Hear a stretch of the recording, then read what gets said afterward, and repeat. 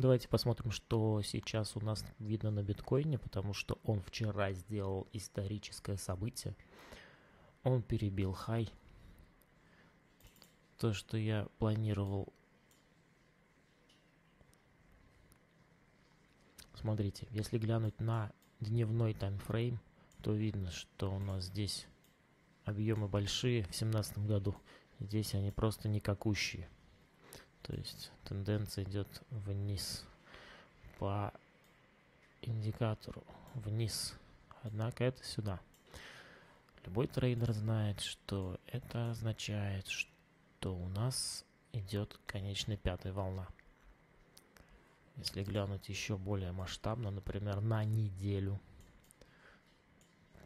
то получается так, что у нас это была первая волна, это была третья волна, а это у нас пятая волна. То есть, то есть мы сейчас в пятой волне, после которой пойдет коррекция.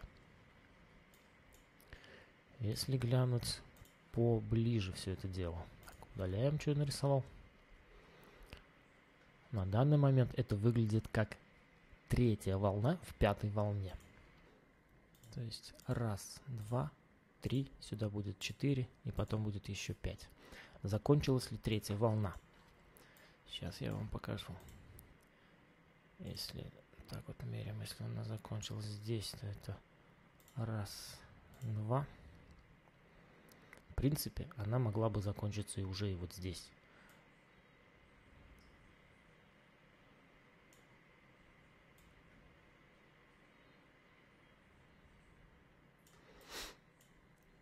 Но пошла дальше. Как мы видим, из индикатора и из объемов у нас тут наметился дивер. График идет вверх, объемы вниз, индикатор вниз. Это означает, что цена скоро пойдет сюда, на коррекцию. Возможно, это и будет концом третьей волны. Куда пойдет четвертая волна? Так, где у нас тут заканчивалось? Сначала сюда. Коррекция у нас, как обычно, вот сюда. Но ну, вот сюда пойдет, наверное. Если будет плоско, то до сюда. Ну, скорее всего, вот сюда пойдет, вот в эту проторговочку коррекция. Сюда мы скорректируемся опять до 18, там плюс-минус. И пойдем выше. Выше куда? Точно это можно будет сказать, ну, максимально точно это можно будет сказать, когда закончится коррекция в четвертой волне. Но если прикидывать, что мы, допустим, точно определили, то вот так вот бросаем эту штуку. Пятая волна у нас будет идти вот сюда, в этот промежуток. То есть биток еще может сходить достаточно высоко, вплоть до там 37 сюда. Ну вот совпадает, например, вот с этим сюда. Короче, до тридцаточки вполне реально сходить биточку до тридцаточки с но сходит. Но после этого он пойдет, как бы это страшно не выглядело, но вот сюда.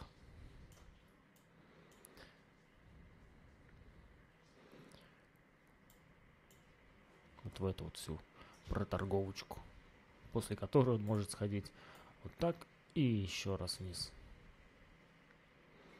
Так что вот здесь у нас последняя возможность закупиться. И здесь, конечно же, все СМИ будут кричать, что мы идем на 100, на 200, на миллион долларов. Но все может быть. Но надо будет смотреть по ситуации. Если смотреть конкретно сейчас на 4 часах, то выстрелил он, конечно, красиво. Все прет вверх. Вот если сейчас на краткосрок его можно брать на любых откатах. Индикатор вверх, объемы вверх, график вверх. Долгосроки, ну как на средние сроки, он сейчас долбанет вниз. Но пока можно брать, потому что у него еще как минимум, как минимум, одна волна. А возможно и третья еще не закончилась, она еще попрет вверх. Цена. Биточек у нас показывает силу. Что у нас, например, с рублем? А вот рубль тоже укрепляется, доллар слабеет. В принципе, многие пары в сравнении с долларом идут покорять вершины. Рубль у нас пробил дно, и сейчас просто идем вниз. Ждем следующий заход. Но я здесь прикупил, стоп не ставил, у меня здесь закупка. Снизу увижу еще какой-то момент для закупа, буду брать, потому что он появится. Потому что здесь, смотрите, цена вниз, индикатор наверх. Рублик уже близко-близко к развороту, но пока нет. Что у нас с альткоинами? Альткоин, альткоины у нас летят вверх, поэтому лучше взять альткоины, чем биткоин. Процентов больше заработаете. Лайт он прет прямо сейчас. У меня, кстати, альткоинов больше закуплено, чем битка.